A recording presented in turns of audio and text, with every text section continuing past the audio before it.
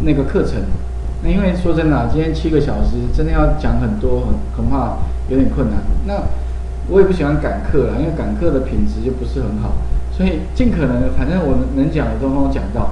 好啊，至于可能最后有点时间，我们再留下来再看看有没有什么大家有什么额外的问题啦，啊，互相再讨论一下哈。好，那再来，请各位哈切到那个刚刚的数学函数里面的话呢，有这个四个问题。第一个问题是这个范围里面啊，所以请各位等一下切到那个 count 这个函数里面。这个范围里面哈，我们有四个问题。第一个问题是这个范围里面有几个是数字？第二个问题是这个范围里面有几个是有资料的？第三个问题是这个范围里面有几个是没有资料的？第四个问题是这个范围里面呢有几个是大于十的？这个范围上面这个范围，哦，那哎这个四个答案哦，其实很好找，你可以找到那个上面一样插入函数。找到特别重要，这个是统计哦，哦，统计类的函数。统计函数里面呢，请你找到往下，有个叫 count 开头的。那特别注意哦，嗯，往下哈，count 是第一个，是算什么呢？下面有给你答案，计算范围中包含数数字的储存格有没有？第二个 count A，计算范围中非空白的储存格，有没有？第四个是 count blank 是计算空白的，count if 是除了要计算几个之外，还有一个判断。哎，所以刚刚四个答案刚好在这里，一二三四哈。我们先来看一下 count，按确定。count 的话呢，把范围给它这个范围，OK，好，这个范围呢选起来，按确定，里面有五十三个数字。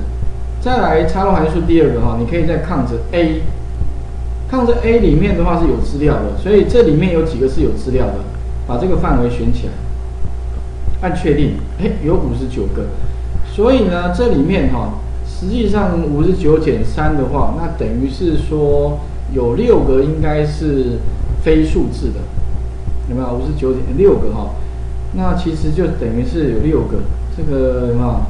待定这些哈。True False 这六个没资料有几个？插入函数统计里面一样找那个 Count Blank 这个范围七个哦，所以没资料七个。大于十的话有几个？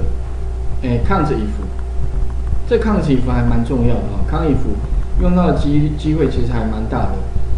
哪个范围？这个范围。哎，第一个哦，那不过 count if 哈，实际上就是 count 多一个逻辑条件 criteria 大于十，所以你就把大于十输入在下面这个 criteria 里面，按确定，三十二个，OK，所以哈这边我们主要演练有四个函数，分别是 count 算范围内哪些是数字，数字部分有五十三个。有资料的用 count A，没资料用 count blank。另外呢，哈，呃，判断除了算之外，还有判断逻辑的话，就 count if 哈。OK，这个是四个比较重要的函数啊，其中最重要的其实还是 count if 了哈。count if 用到几率最大。那统计什么呢？这个这里面呢，销售金额大于五万的员工有几个？也特别重要，这一题跟刚刚那个不太一样，刚刚那个是。把它如果条件为 true 的时候加起来，它是算几个？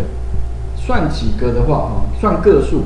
所以你可以插入函数的时候用什么？用 count if，刚刚使用过了 count if。那一样，它会给我 sum if 是有三个参数，三个引数。那 count if 只有两个。第一个，哎，他会问你说范围，范围什么？你帮我。算那个什么呢？销售量大于，所以把那个 D 十十七到 D 的那个二十四选起来。条件的话呢是什么呢？大于五万，所以输入条件大于五万，按确定。三个，OK，好，所以这个范围里面哈，销售量大于五万的，哦，啊，其实就是这三啊哪三个哈？其实就一个、两个、三个啊。不过哈，如果说你这样看不清楚啊，我建你干脆用什么？刚刚讲过常用里面的设定格式化条件，新增规则嘛。那如果什么呢？哎，选第二个。如果它的储存格的值哈，假如是大于五万的话，那给一个不一样的格式哈，这样会看得比较清楚。所以你可以什么？设定格式化，指格式化包含下列储存格。大于五万的，那给一个格式好了，简单一点。格式的话呢，字干脆变红色就好了，就这样简单，按确定。哎，就条件，我看看刚刚设定，管理一下规则。哦，我打到五十万了，哦，OK，五万，OK，多一个零，好，这样按确定。那你会发现哦，格式，哎，除了可以找到几个之外，也可以用格式化哈，把那五个人找出来，OK，所以其实设定格式化还蛮方便的，这有点帮助你将来在找寻你要找的东西。另外，你可以用抗一些函数哦，帮你去算总共几个，哦，当然你就不用那么辛苦了。不过如果你设定格式化之后，当然一看也知道三个，哦，好，那这个部分的话哈，这个是有关那个诶抗折方面的函数哈。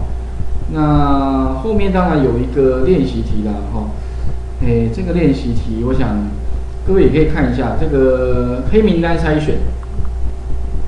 那这个黑名单筛选哈，就刚刚同学问的问题，诶，就是有问到类似的。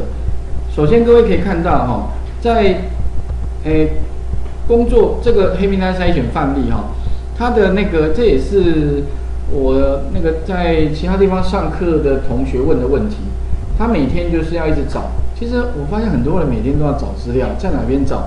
比如说呢，哈，黑名单，他有两万多个黑名单，要查询的是第一个，那我怎么知道这些名单总共有一千个名单？好了，到底这一千个名单里面哪几个是黑名单？哎，这时候怎么办呢？那基本逻辑是练练习题里面有，有没有？有没有有没有有有吗？黑名单筛选最下面那个有吗？有有看到哈？OK，哦，哎，数学函数哦，在数学函数里面，哎，数学函数哦哈，啊这边的话哈，其实其实只要用刚刚的方法就可以了。提示一下哈，其实用康尼符就可以。去算出哈，哎，在查询名单里面有几个是那个黑名单的？那做法哈怎么做呢？接下来哈，其实很简单，你切到那个什么查询名单里面，在 B 栏的地方有没有？B 栏这边我可以打两个字，栏位名称给它设一个叫结果哈，哦结果，然后呢在 B 二的地方点一下，B 二的地方做什么呢？插入函数。哪一个函数呢？用刚刚那个最近使用过康利夫，康利夫按确定之后哈，它会问你两个问题：一，range，range 是什么呢？哎，特别就要请你切到黑名单里面，游标放在黑名单的这个 A 二这个 A 二再往下，啊往下特别就要你就，我是建议啦，你不要用选的，因为选哦它两万多笔，你如果像这样一直选怎么样？你要一直选。选到什么时候呢？不知道，可能有没有可能过头？很有可能。有没有一直选两万多个哦？这样太太慢了。我是建议你可以用什么？Ctrl Shift 向下就可以了。哦，这个这个，这现在跑太慢了，算了，我直接好重来，取消。游标放在查询结果，好，然后插入函数用那个康 if range，请你点到黑名单。点哪一个呢？点那个它的最上面那个 A 二没有？然后让向下追踪哦，Ctrl Shift 向下，Ctrl Shift 向下，这样就马上选好。啊，不要用刚刚的方法，因为刚刚的方法哦，如果你以前我我知道很多同学就一直选，一直选，一直选，选到底过头了，又拉回来，拉来拉去，好，啊，你如果 Ctrl Shift 向下，它就帮你把黑名单里面的资料选完。Criteria 选什么呢？选它旁边这个查询名单。意思就是说，哈，你帮我算一下，我这个 email 信箱有没有在黑名单里面出现？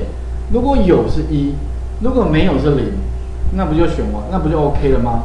那如果你按打勾，按确定嘛，应该看得懂这个这个叙述吧？不过特别注意哦，range 指的是黑名单的 A one、A 二哈，一直 Ctrl Shift 向下，好，然后按确定之后啊，记得把那个 range 哈，嗯，锁起来，F 四，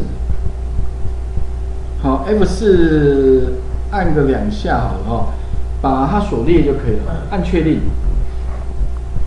再来呢？就找到了，哎，这个是啊，其他怎么办？点它两下，这个时候呢，它就会帮你全部找完了。哦，如果它康一服那个范围黑名单里面如果有的话，它是一，没有是零，应该可以理解这个吧？哈，啊，最后呢，如果你要查到哪一些是黑名单的话，最后可以配合什么？配合那个有没有放结果筛选？资料里面有个筛选，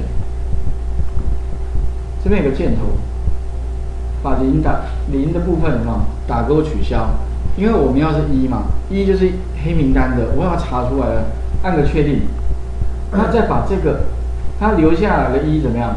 把这个 A 二有没有一直往下？其实也是 Ctrl Shift 向下，Ctrl Shift 向下，把那个查询到的 Ctrl C。再切到查询结果的 A one，砍做 V，全部查完了，总共会有二十七个黑名单。OK 哈，那这个应该可以了解刚刚的动作了啊。基本上，其实我只是利用什么，Ctrl 啊，最后把那个筛选再取，再把它恢复。哦，主要是利用 Ctrl 去算我的 email 在黑名单里面。有没有出现？有就是一，没有就是零。再利用筛选，留下一的部分。OK，这样不就做完了？所以以后如果你希望快速比对的话，我这个范围的资料有没有在另外一个范围出现过？那这个这一招就好了。OK，马上比完了。好，OK，啊，最后配合这个资料里面的筛选。筛选当然你可以留下什么？留下要的就是一的部分。哎，啊，最后留下一哈，再把那个留下的部分复制贴到另外的地方去，那问题就解决了。好，OK，我试一下，这个地方是康利福的应用。啊，康利福还蛮好用的，很多地方哈都可以利用康利福帮我们去去去得到我们的那个范围的比对。不过基本上两万多笔这样速度还蛮快的，哦啊，当然理论上，如果你资料更大，好像也还算，至少它的速度上、效率上，我是觉得还可以接受啦。如果你的范围两万多笔比下来，其实也没有花几，没有花到几秒钟啦，也是瞬间就比完哈。OK，所以这个地方请各位试一下，那个黑名单筛选部分哦。啊，待会的话呢，我们就要继续再来看那个，诶，所以数学方面的函数哈，先要告一个段落了。再来，请各位哈，接下来就是要看那个检视与参照。好，所以待会请各位再开启那个，这个这个哪一个呢？检视与参照里面的那个范例的，哦，把它打开来。打开之后的话，一样切到。最前面，Luga 这个啊，Luga 函数啊，